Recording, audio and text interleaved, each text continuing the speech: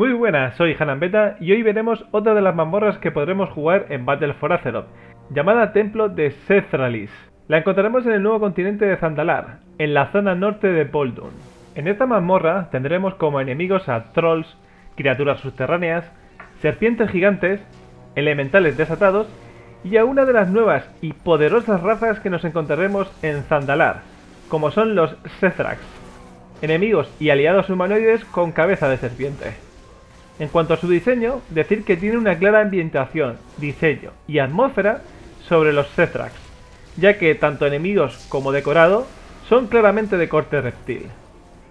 Todo esto se ve claramente nada más entrar en la mazmorra, ya que tanto los primeros enemigos como el primer jefe, Aderix y Aspis, son de esta nueva y peligrosa raza.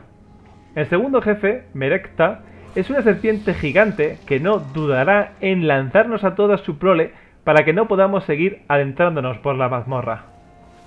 Antes y después del tercer jefe, Galbad, un poderoso elemental dominador del viento y los rayos, podemos destacar una de las mecánicas que más me ha sorprendido en lo que llevamos de mazmorras, ya que tendremos que sortear unos rayos para seguir avanzando por nuestro camino.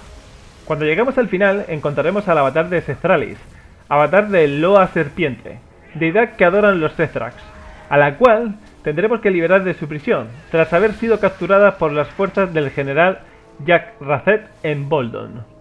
Esta mazmorra será jugable para los miembros de la Horda, mientras suban el nivel en Zandalar, y estará abierta a ambas facciones al máximo nivel.